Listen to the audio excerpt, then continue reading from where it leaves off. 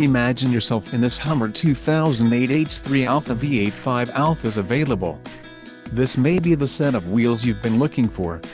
This vehicle shows low mileage and has a smooth ride. This car won't be available much longer.